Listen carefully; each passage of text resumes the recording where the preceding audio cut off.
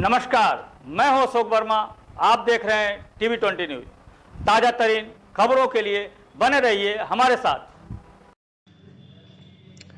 आज नगर पालिका परिषद में गृहकर विभाग में एक इंस्पेक्टर कोरोना पॉजिटिव पाया गया जिसको आज जिला प्रशासन ने पूरे नगर पालिका कंटेनमेंट जोन घोषित करते हुए उस इलाके की साफ़ सफ़ाई एवं सैनिटाइज कराया जा रहा है। तो वही नगर पालिका परिषद के ई शुभनाथ ने बताया कि हम अपने पूरे नगर पालिका परिषद को 48 घंटे के लिए कंटेनमेंट जोन में रखते हुए सभी कार्यालयों को बंद कर दिया है और कार्यालय की साफ़ सफ़ाई लगातार किया जा रहा है जिससे संक्रमण खत्म हो सके। या कुछ कहा ई शुभनाथ ने आपको सुनवाते हैं।